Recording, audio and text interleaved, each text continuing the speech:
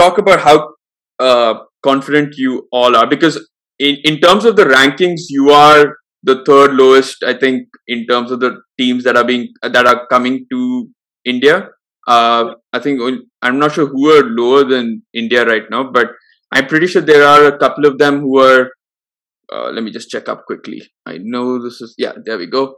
So, uh, let mean, this is making for some really interesting podcast. But yeah, uh, you've got Iran, you've got Philippines, and you've got Indonesia. Uh, I think who are lower than India in terms of rankings.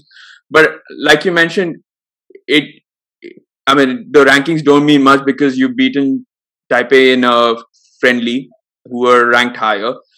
So, how much of confidence will that give? And despite losing the two games against the Swedish clubs, I mean, quality wise they might be quite high they might be, have more practice and all of that uh, but Mithila, how confident are you going into the A- AFC Cup?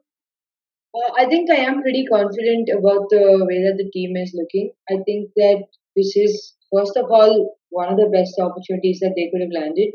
I think opportunities wise itself, it's a huge win. Uh, another thing is having beaten Chinese Taipei, who are 10 ranks above us, uh, it only means that the sky is the limit at this point. I think the team only needs a little bit more cohesion. They need to play together a little bit more, uh, avoid injuries as much as possible, uh, because I think that could set back even a even a tiny injury because the player pool that they are looking at is fairly small. Mm-hmm. Uh, a major injury to one of the top players or one of the uh, starting eleven players could be a setback uh, especially in positions where you know they are used to playing and they are regulars in that position. So very important to protect the players at this point. So I think that's one thing. But apart from that, I think uh, having the experience of you know facing all these teams will only teach us new things because we've not ha- we don't have anything to compare this to. You know, we've never played uh, another AFC or we've only been to qualifiers so far and second round of qualifiers, if I'm not wrong is the highest that we've gone to. So because we don't have a scale of comparison, I think this tournament should be taken as it is, and uh, qualifying to the playoffs will be a massive step. And I think people should give it the credit as it comes if we really do qualify for the playoffs. Definitely. And Akshay, uh, same question to you. Uh, you know, the two friendlies that I watched against the Swedish club, losing 3 2 and 1 0, it's not a bad score line. We've seen that our team can score. They they've they've been scoring for fun in these friendlies. I think the only problem that uh, we need to get better is the defense. So not being critical, but yeah, that's that's one area where you know we can improve and uh, you know that that will really help us uh, perform better in the Asian Cup. Other than that, I think our attack is quite sorted on what on the basis of what I've seen in the last two games. So we, we need to you know sort of improve defensively and we, we definitely do have a chance to get to the qualifiers, qualifying. Awesome, and uh, I guess this. Uh, I who how many people how many teams eventually get this is for the World Cup as well, right? Like whoever wins or how many teams qualify for the World Cup if you win no, this? I'm I'm not sure of the format. Right? Yeah, I think. Yeah. There is a criteria where like number of teams from Europe, America, uh, Asia, etc. Correct. Yeah. Okay. So five teams will qualify directly for the World Cup via the knockout stage, and two more. Okay. It's yeah, quite quite complicated, but uh,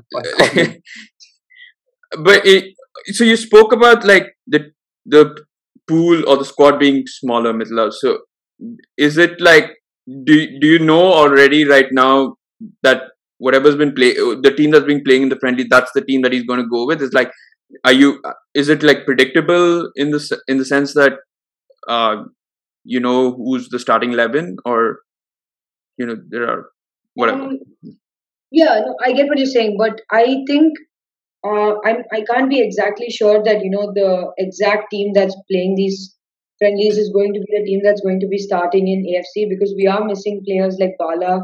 We're missing quite a few uh, newer players who have been called into camp now. So I we could see a little bit of a change, but in terms of players who have the right kind of experience, then majority of the squad will be from the team that has been playing these friendlies.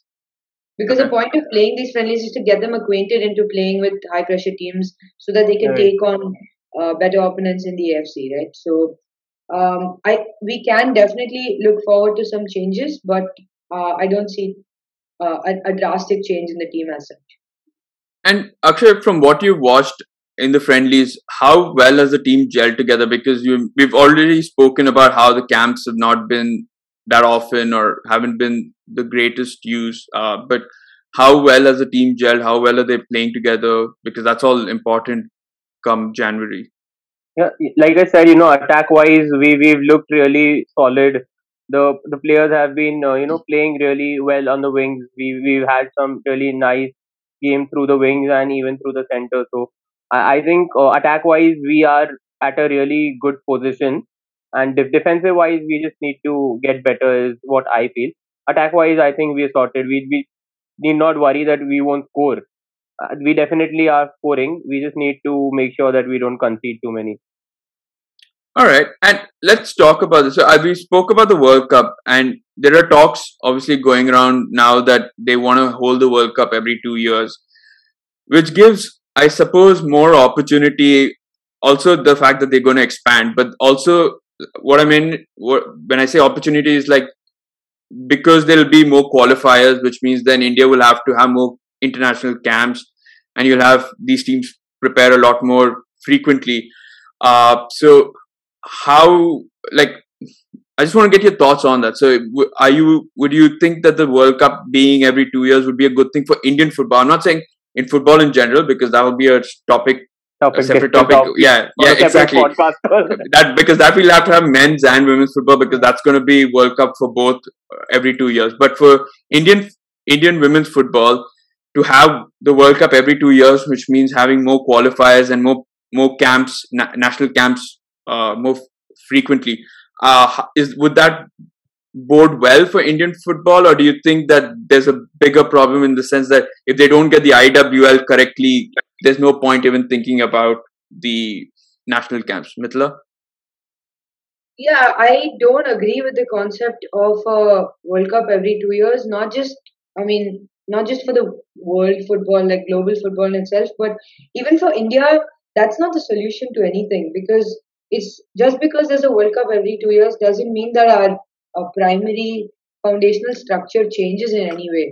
If that does make the ch- make the change in terms of how our league system is run and how let's say for the like how for the men we have the ISL I League I League second division and each state league has its own super division right so for the women right now we have super divisions across uh, most of the states I mean not even most like I think few states have a proper league. The others just get away with leagues for five to six teams max.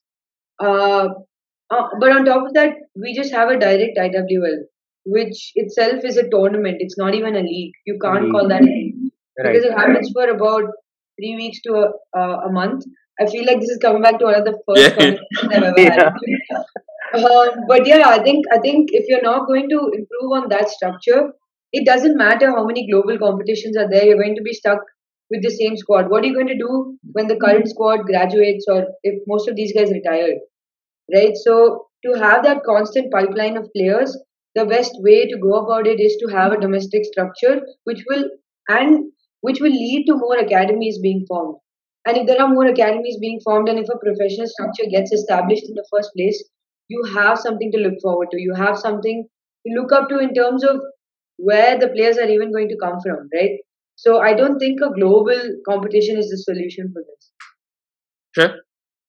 Hundred percent, I agree to what Mithila just said. That the domestic structure is very important. The having a World Cup every two years is not the solution for qualification or for playing more games.